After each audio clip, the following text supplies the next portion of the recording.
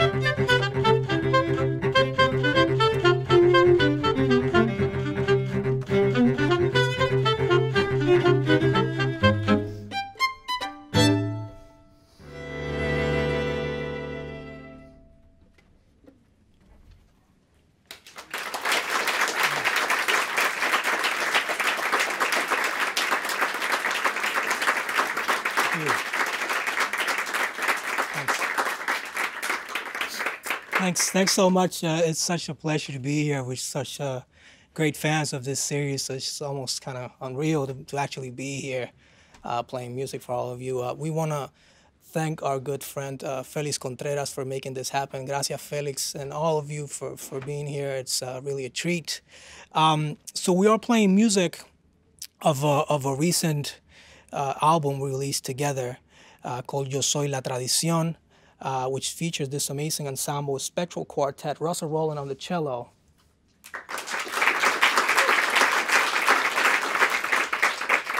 This is Doyle Armbrust on the viola.